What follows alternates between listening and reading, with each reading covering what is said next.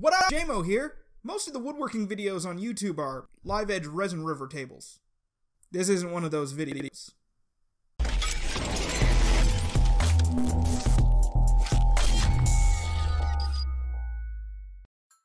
In this video, I'm making a wooden PC case with a little help from this Rosewill SCM01 that I picked up from Amazon for $22.99. I'll start by disassembling the case, first removing its sides, then I'll remove the front cover and see what components we can use for our custom build.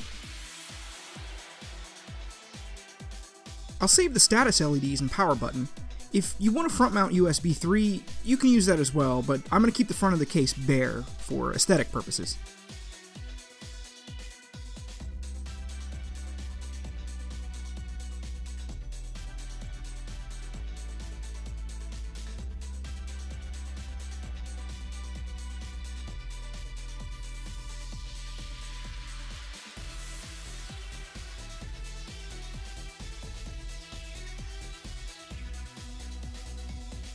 To further break down the case, I drilled the rivets that held everything together but the rear of the case and the motherboard tray.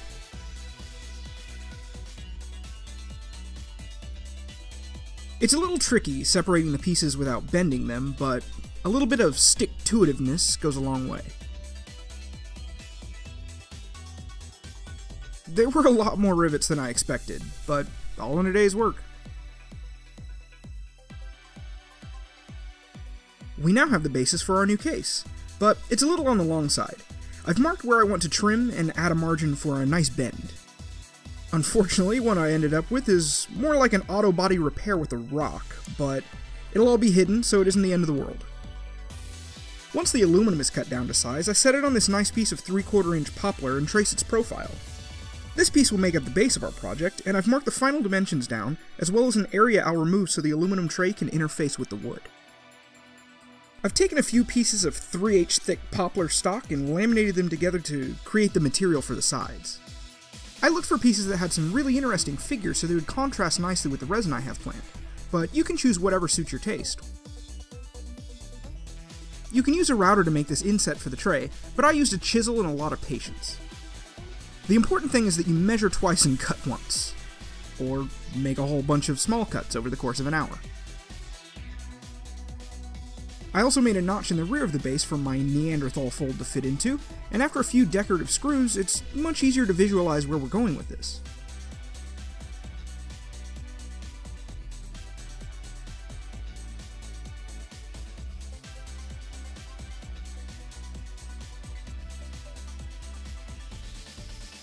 Also, I've added a spacer to hold the weight of the power supply. Kinda pretty already, isn't it?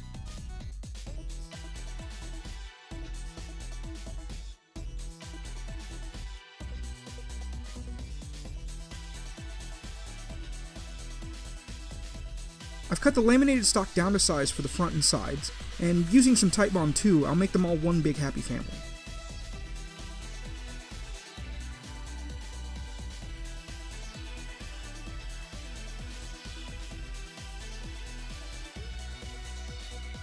I've added this piece to the back for additional strength, and it'll act as an anchor point for the top.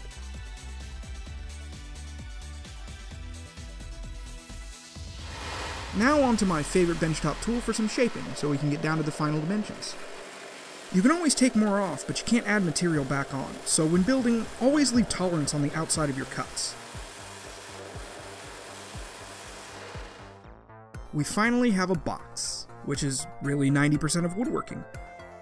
You will make mistakes, just be patient and stick with it. Don't let your projects beat you up.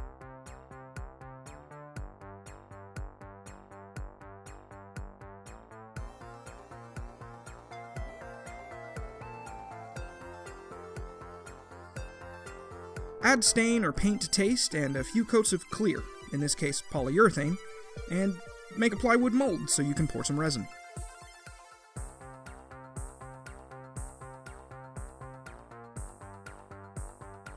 Now to mix up some resin of your choice and add pigment. I'm using Pour-On resin, not the least expensive, but it's what I have, and Jacquard Pearl Ex Emerald Powdered Pigment. I mixed the pigment into the resin completely, and then added an equal portion of the hardener after. The instructions say to double mix this. Mix it thoroughly in one cup, pour it into another, and mix it again for another few minutes. And now pour.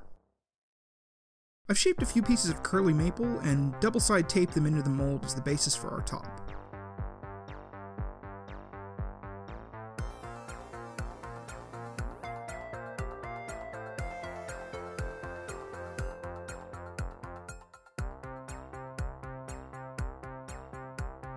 I used to make fun of Peter Brown for never having enough resin made up, but it looks like we'll need to mix up some more resin.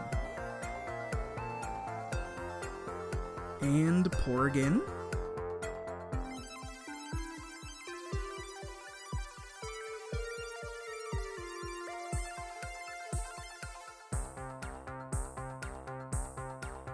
You can use the stir stick to mix in a pattern, but with this much pigment you'll need to do it a few times to get the design to stay.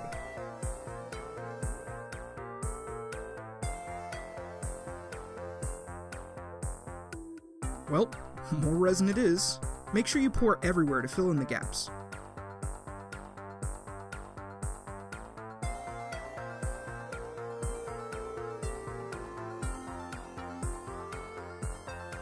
It doesn't really matter if a little bit escapes its boundaries because we're going to sand it all after it cures.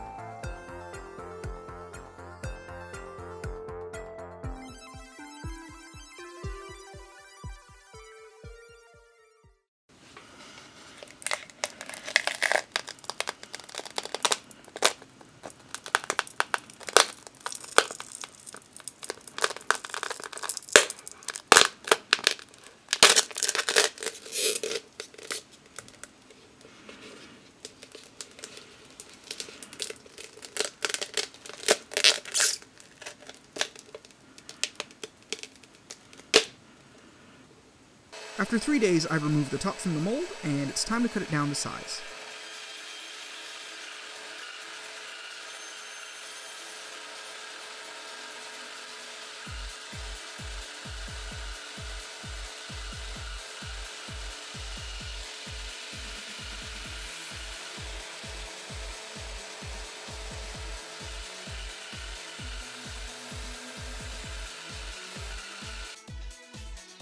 A little stain in poly really makes this thing pop.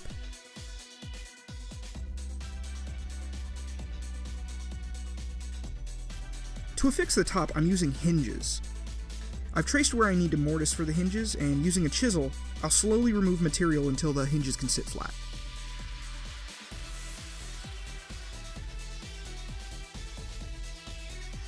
This is a lot easier to do before you coat the piece in polyurethane, so you should probably switch up the order of operations here.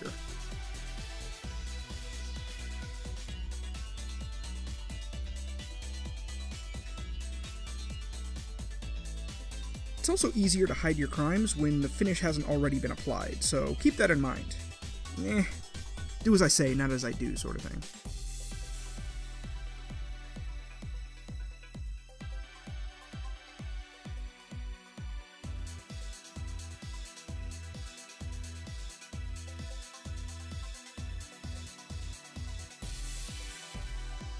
A few screws hold everything together, so drill pilot holes and thread the screws in using a screwdriver.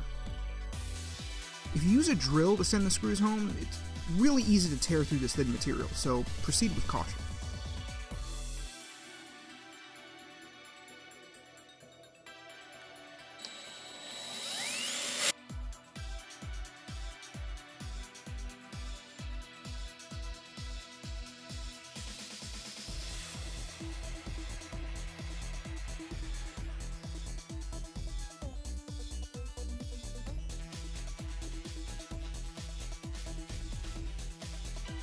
I've populated the aluminum tray with my $400 budget PC build from 2016. It's comprised of an MSI A88XI ACV2, an AMD A10 7860K, a Corsair CX430 power supply, 16 gigs of G.Skill Ripjaws X DDR3, a Samsung 850 EVO SSD, and for good measure I've added an EVGA GTX 750. The entire assembly just slides into place, and it's held there by those four decorative screws that we threaded in earlier.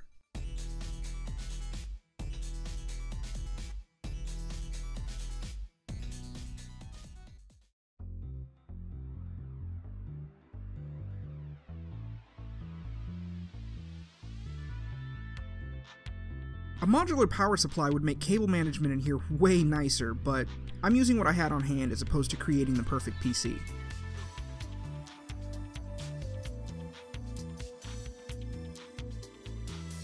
This would be an awesome home theater PC, not only because it would look great in your living room, but the wooden structure is actually dampening the sound of the fans. This thing is almost silent, and man, did it turn out beautiful.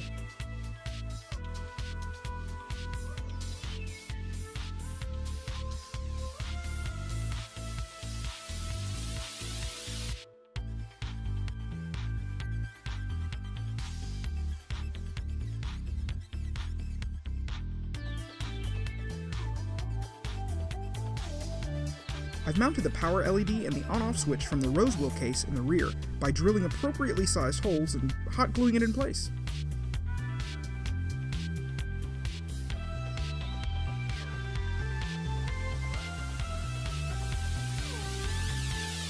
The airflow is great, the PC stays nice and cold, it's quiet, and it looks great on a desk or an entertainment center. I'd call that a success, and I hope it inspires you to make something. You've made it this far, thanks for taking the time. Leave a like, a comment, consider subscribing. I'll see you in the next one.